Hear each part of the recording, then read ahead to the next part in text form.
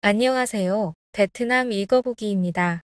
상계 사진은 지난주 베트남 페이스북에서 화제가 된 베트남 중부 웅이안성의 고등학교에서 정전되어 휴대폰 불빛으로 수학시험 풀이를 했다는 뉴스입니다. 그럼 최근 심해진 베트남 전력난에 대해 알아보도록 하겠습니다.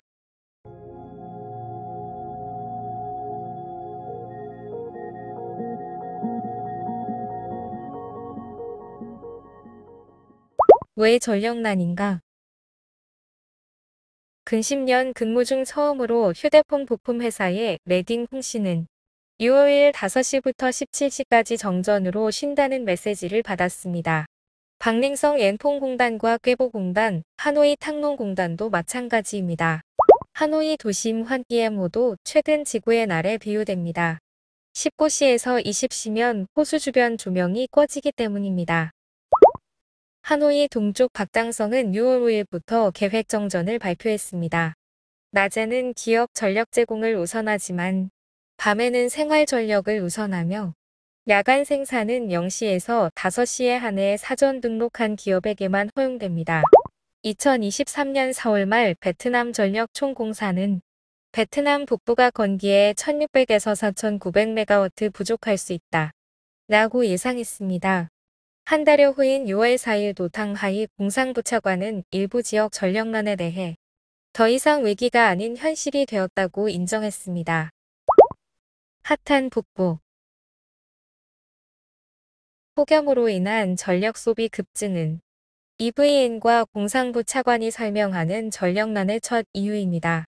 5월 베트남 전국 전력 소비량은 4월보다 20% 늘었으며 5월 19일 하루에만 9억 2,400만 킬로와트시로 올해 최고치이자 전년 동기 대비 10.5% 증가했습니다.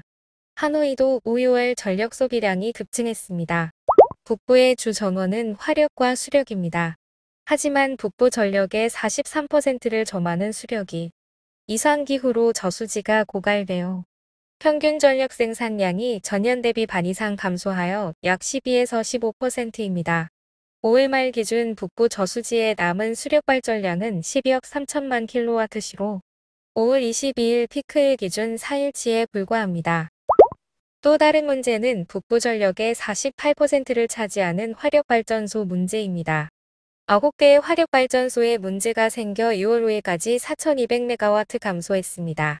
그중 제2응이선 BOT 프로젝트 1호기는 7월에야 복구 예상됩니다. 아, 안 돼! 아. 저희뿐만이 아니야. 지난 몇 년간 전력난이 예상됐기에 더위와 기후탓만 할 수 없다는 것이 전문가들의 의견입니다. 에너지 전문가 다오 몇 딩 씨는 5, 6년간 북부의 전력원이 안 늘어서 하루 벌어 하루 사는 나날을 만들었다고 합니다. 북부는 전력 소비 최고 성장 지역으로 2016년에서 2020년 사이 연평균 9.3% 증가했지만 전력원은 약 4.3%만 늘었습니다. 중부와 남부는 전력 수요보다 전력원 증가 속도가 몇 배 빠릅니다. 대부분의 대형 전력 프로젝트는 투자, 자금 문제로 시행이 느립니다. 이는 공상부도 8차 전력계획 관련 정부 보고서에서도 인정했습니다. 현재 EVN은 전체 전력 공급의 38%만 차지하고 나머지는 페트로베트남 파워, 베트남 석탄 광물 공사나 BOT 발전소 및 개인 생산 재생에너지입니다. 송전망 용량도 문제가 됩니다. 대부분 송전 사업이 토지보상 문제로 1에서 2년 지연 중인데다 전력 수요가 적은 중부의 재생에너지 생산을 집중하고 있어서 북부와 남부로의 송전 압박이 늘어나고 있습니다. 대부분 투자업체와 지방은 지방 전력망에만 관심 있지 전국 전력망 배치의 개념은 부족합니다. 결국 2022년 말까지 전국 통전력의 약 27%를 점유하고 가동 전력의 약 15%를 재생에너지가 공급해도 북부 전력은 부족합니다.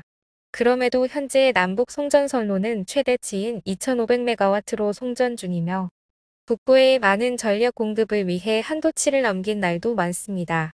참고로 중국적 경지 일부의 중국 광시성 전기를 구매한 이유도 단순 전력 부족 때문만이 아니라 산볼로 송전선이 타버린 게 큽니다. 공상부 차관 전력난 극복될 것 도탕 하이 차관은 6월 3일 오후 기자회견에서 이렇게 발언했습니다. 무더위로 인한 전력 수요 증가 이상기후로 수력 발전 수위 부족, 5월 말 석탄 수입량 부족이 문제이나 총 발전 능력은 약 8만 1,504메가와트의 피크 전력 수요가 4만 4천 메가와트라서 화력 발전소가 사고 없이 가동하고 수력 발전용 물만 충분하다면 전력 부족은 극복될 것이라는 주장입니다.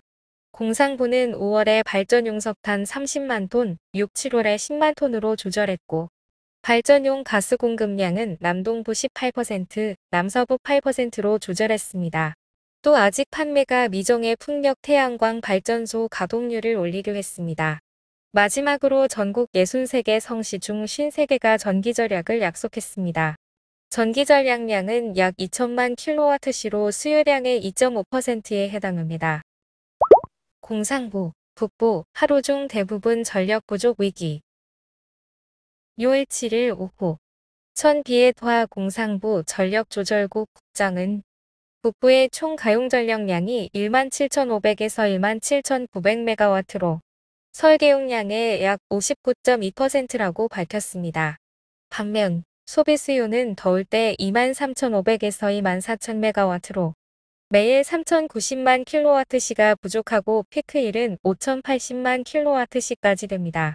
응오 선 하이 EVN 부사장은 더운 날 수요를 30% 줄여야 하며 날씨에 따라 전력 생산량도 평균 6에서 10% 감소한다고 덧붙였습니다. 그나마 중부와 남부는 안정적이라니 조금 위안이 되네요. 중부와 남부의 전기절 약 동참은 북부 공급량 증가 차원 같습니다. 현재 베트남 북부 전력난 이해에 도움이 되셨기를 바랍니다.